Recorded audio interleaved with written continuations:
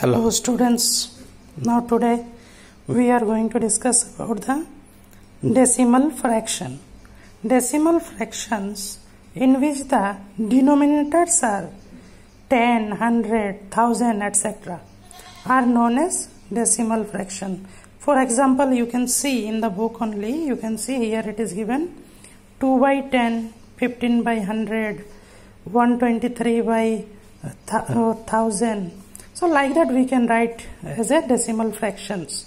And that we can write uh, by some examples you will understand how we will solve them. So okay now we are going to start from the uh, chapters exercises. Exercise uh, 5.1a 5a which we have we can see here some of the questions are given. Uh, like a write each of the following decimals in figure. So I have already made one sheet that we can see. Here you can see the first question. It is given to you.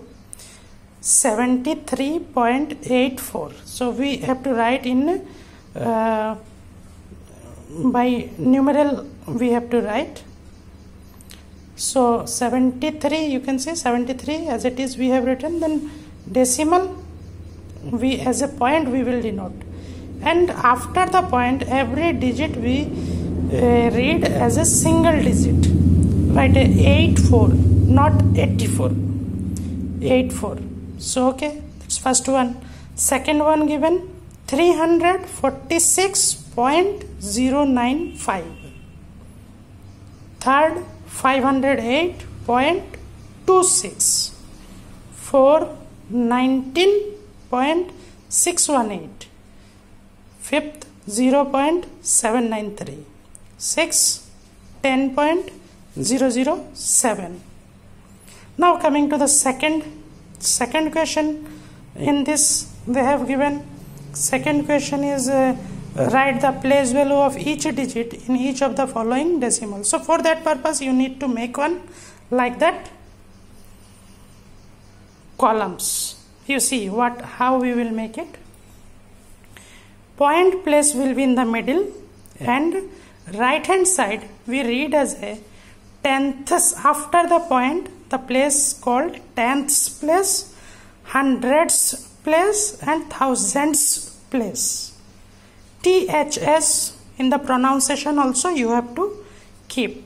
And uh, before the point means the left hand side of the number that is same.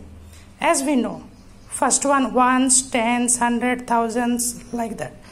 Okay here one more column will be ones column. Ones column.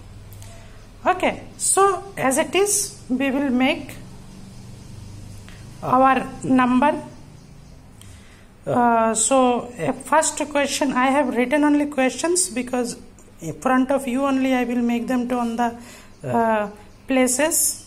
So you will understand better way for first one given 43.38 so first of all 43 so 3 will be in the ones place and 4 will be in the tens place. Point place point. And after the point uh, 43 is 3 so 3 will be in the tenths place and the uh, 8 is in the hundreds place. It's a very simple thing.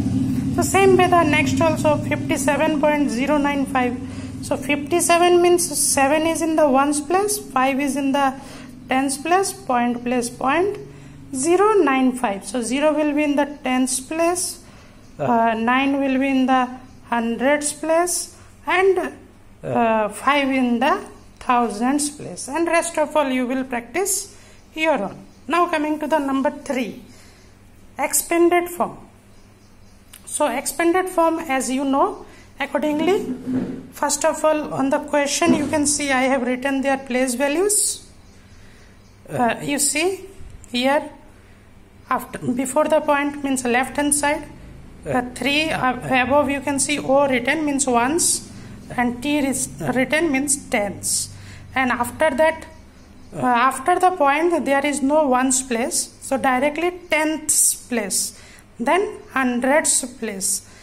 And then uh, uh, here only this much. So that is if down one you can see in that uh, tens hundreds thousands also places there. So accordingly we will write.